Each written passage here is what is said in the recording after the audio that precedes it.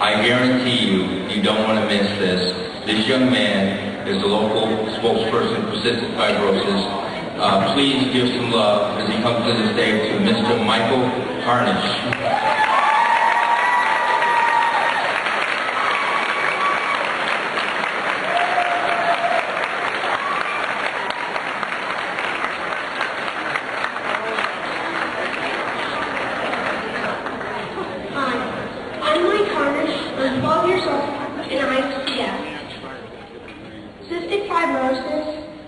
Genetic disease that affects both your lungs and your digestive system.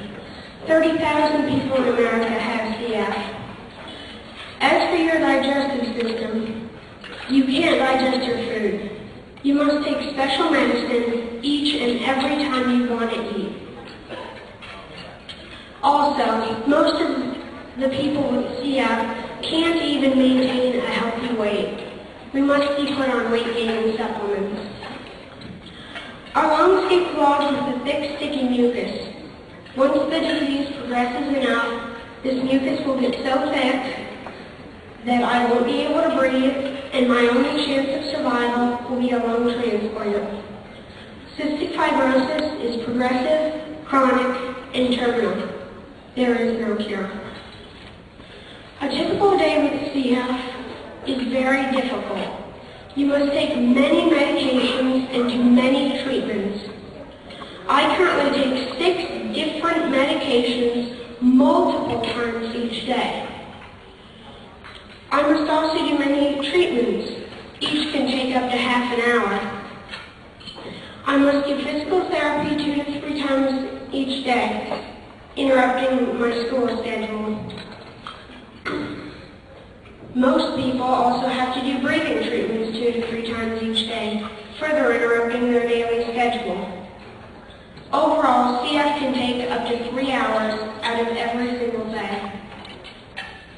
I must plan my entire life around my treatments.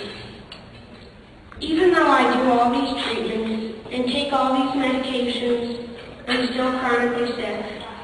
People with CF must go into the hospital multiple times each year. Each hospital stay can be from one to two weeks on average.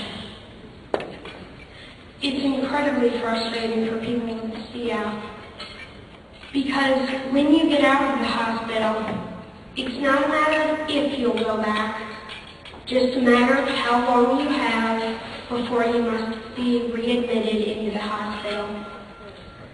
I'm always fighting for a battle that cannot be won. Last year, I was fortunate enough to speak with Dr. Bell, the head of the CF Foundation.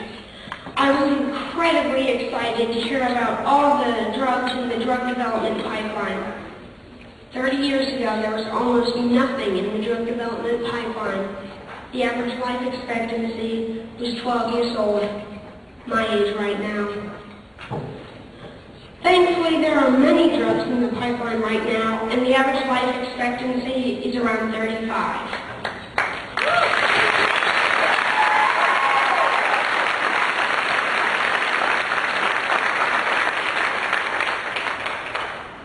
It's also very disheartening because yes, we have these amazing drugs that could give me a better life, make me live longer, stop the progression of the disease, or even cure CF but we don't have enough money to produce these drugs.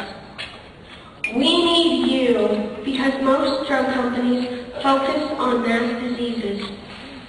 Just last month, a drug company spent $1 billion on a company with the potential of producing a cancer treatment drug.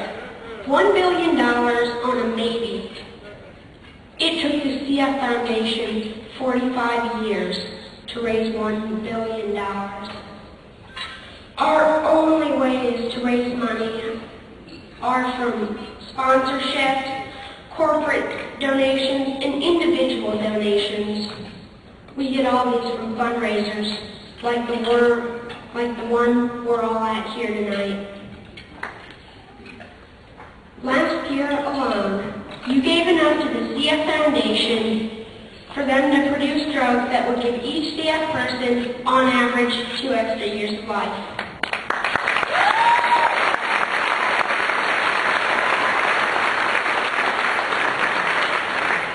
If you take those years times the 30,000 people who have CF, you get 60,000. The CF Foundation gave each CF person 60,000 years of life. That's all the CF people combined. That's an amazing number.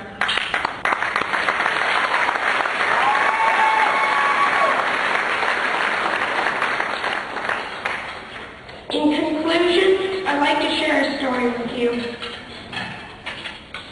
When I was 10 years old and in the fifth grade, I wanted to play trombone in the school band.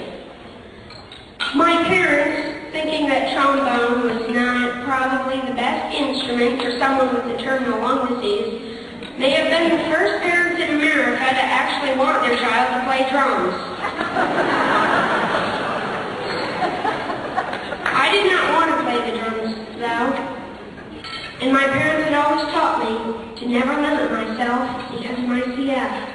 I reminded them of that. I have now played trombone in the school band for two years and am currently in the middle school jazz band.